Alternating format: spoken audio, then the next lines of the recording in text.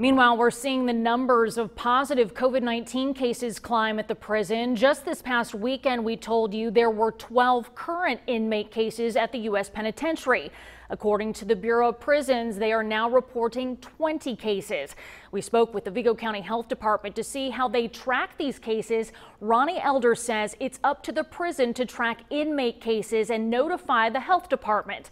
The prison will work directly with the health department when employees test positive so the health department can conduct contact tracing. Our prison's doing a great job, and as I said, we, we collaborate and we we have open communication with them. So anything that they would ever need from us, we're uh, definitely here for them. It's important to point out that there are also cases at FCI Terre Haute. To see the numbers for yourself, check out the link we have over for you at WTHITV.com.